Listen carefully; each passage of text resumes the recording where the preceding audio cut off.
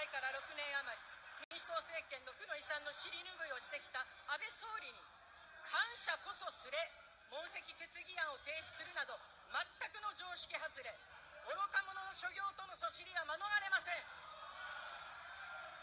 野党の皆さんもう一度改めて申し上げます。恥を知りなさい。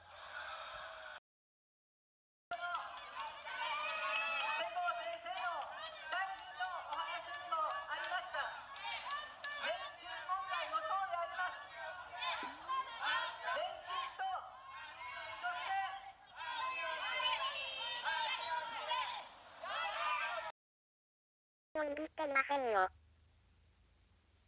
皆様、コメントがすごいことになってますね。では、正確に申し上げましょう。政権を握っているのは内閣総理大臣だけですよ。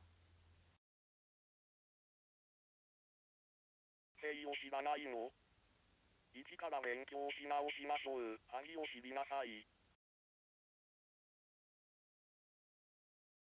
その程度か恥を知りなさい。まあ、だから組閣に入れなかったという自覚はないだろうな。一般教養として議会制民主主義くらいは知っていないと、恥を知りなさい。